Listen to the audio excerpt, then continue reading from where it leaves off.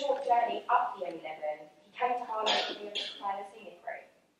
Three years in Wolverhampton, four years in Wales, and a, and a, a stint in uh, East End before finally seeing the light and coming to Harlow in 2009.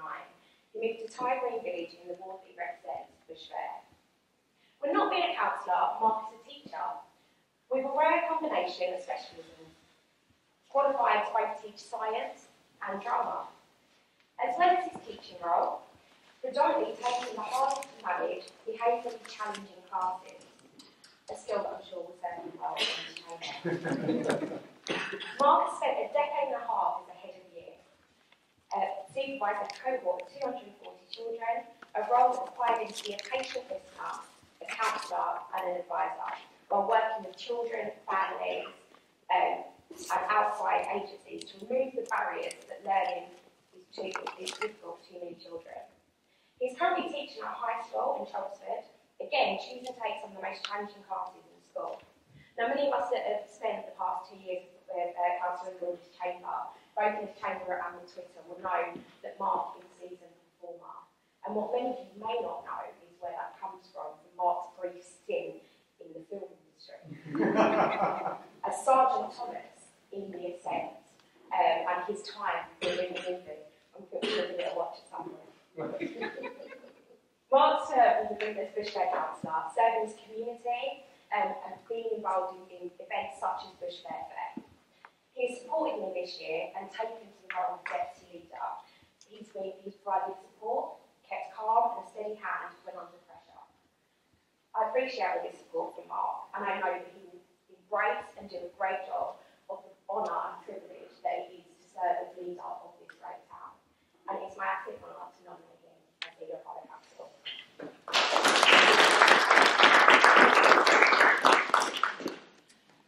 I agree that Councillor Mark Ingall is elected as leader. I won't be very long, I promise. It's all right. Yeah, I'm just afraid you keep don't worry. Um, I first met Mark um, when he was campaigning to be the councillor of Bush Fair two years ago.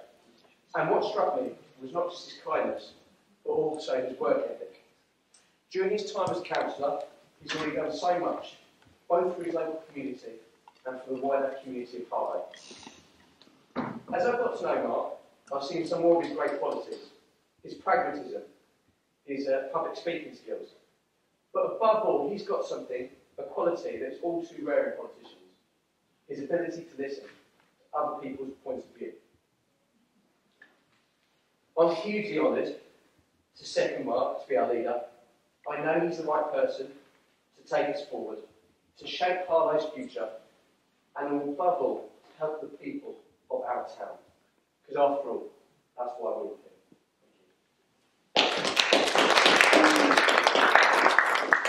So we agree that Councillor Mark Ingall is elected. Thank you. Um, we're now on to item nine, the appointments of the cabinet. So call the leader to announce deputy leader and appointment to the cabinet. Thank you, Chair, councillors, members of the public. Um, my surprise at standing here on this occasion tonight is um, matched only by the profound sense of honour that I feel as an deepening sense of responsibility.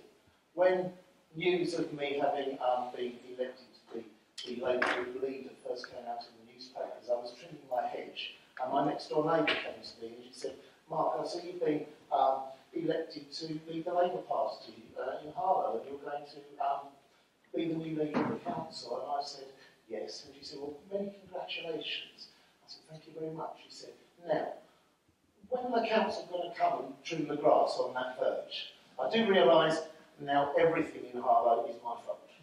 um, so my first task is to announce a new deputy leader and choose a cabinet. Um, my deputy leader, already a tower of strength to me, um, is Waida Foreman. And she's going to take on a new portfolio, a portfolio uh, called Equalities and Diversity, marking our commitment for equal opportunities here in Harlow. My cabinet includes some well-known faces. Mike Danvers in resources, Mark Wilkinson on housing, and Danny Purton in environment. Another well-known face, our last leader, our excellent last leader, um, is Emma Toal, and I'm delighted that she's going to take on the second youth portfolio that we've created, underlining our commitment to a thriving economy to support our town's growth. She's going to become the portfolio holder for economic growth. A new face in the cabinet, an experienced councillor, um, taking over the regeneration portfolio. I'm delighted to have John Strachan on my team. I'd like to take a moment at this time to say a very big thank you to the previous um, portfolio holder for regeneration, Tony Durcan. Um, he's made a magnificent contribution to this town. He's made a magnificent contribution to the Labour team. John, you've got some extremely big boots to fill there. Another new face of the cabinet is Lainey Shears, who's been a councillor for two years. She's taking over the portfolio of governance from Waida. And the freshest face of all in my cabinet is the remarkably talented, industrious Eugenie Harvey, our new, newest councillor, who will be bringing a wealth of experience from her professional life to the role of community and welfare. For those of you who are interested in statistics, this is a cabinet of experience. Seven out of eight of them are experienced councillors. Five out of eight of them are councillors who've held portfolios before. It's a cabinet with freshness. It has three new portfolio holders. It's a cabinet that is groundbreaking. It has the first ever BAME deputy leader in the history of Harman. And it's for the first time ever that we have four out of eight portfolio holders that are women appointed on merit, marking a 50-50 gender split, showing that this council doesn't just preach equality, but we practice it too. Thank you.